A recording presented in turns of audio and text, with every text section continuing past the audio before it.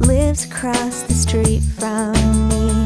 He drives a beat up yellow canary Chevy 63. He told me Adam and Eve are alive and well. He said he saw them making love down by the